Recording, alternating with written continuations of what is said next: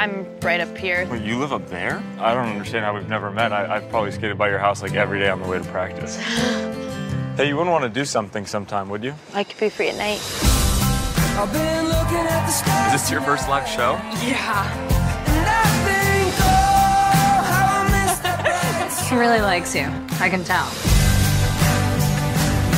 I am not comfortable with him not knowing. What should I have said? Hey, by the way, if the sun hits my skin, I could die?